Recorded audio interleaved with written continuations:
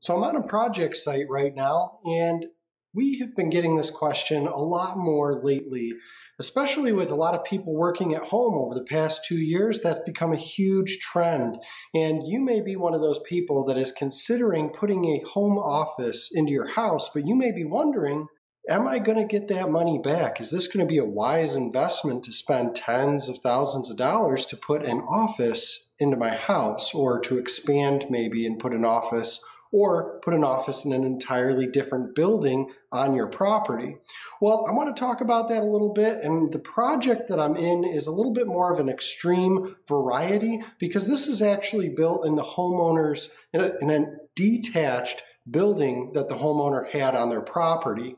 And while I go through this, I'm going to kind of do some, uh, I have some beginning to end pictures that I was given, and you can take a look at these and kind of get some inspiration maybe from them.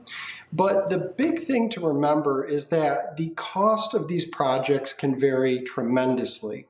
Obviously, a bedroom can be a wonderful option for you to just put a desk in there and that fourth bedroom or guest room can be your home office.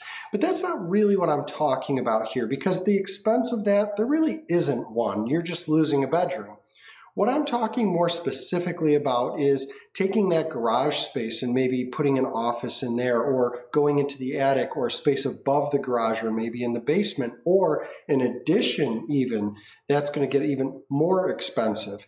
Um, so as far as a scale goes, the cheapest thing you're going to be able to do is just take what you have now, take the room that you have now and turn it into a bedroom. But if you really are thinking about making a whole new space, um, you're going to be adding living space um, or at least office space, and those can be different depending on your code.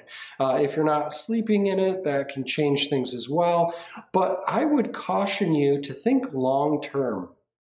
When you go to sell your house, yes, a lot more people are looking for offices than they were before because a lot more people are working in their homes now than they used to.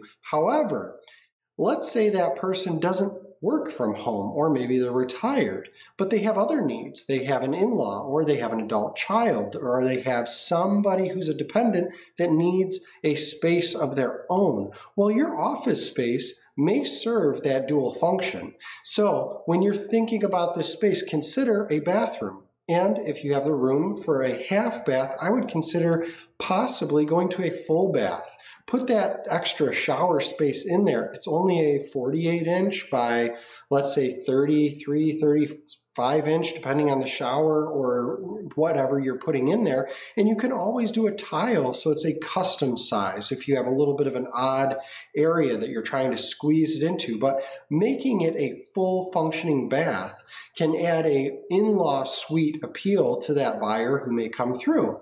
So office spaces are a huge thing now that they were not before. Now, when you put that in, does that mean that every buyer that comes through is going to need that space? No. Does it guarantee that you're going to get all your money back for it? No, we haven't gone far enough to really be able to prove that. We're only two years into this huge trend of working from home, but it does seem to be something that's going to kind of stick with us. So, if you need an office space, I would say go for it, especially if you're going to be able to use that for the next three, five, seven years. You're going to get some value out of it just by using it.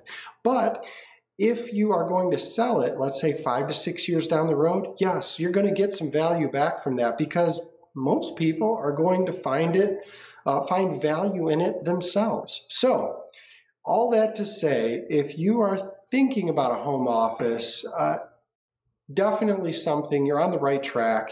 Talk to your contractor, get your head wrapped around the numbers, how much it's going to be, and then you will have a better idea of whether you should go for it or not.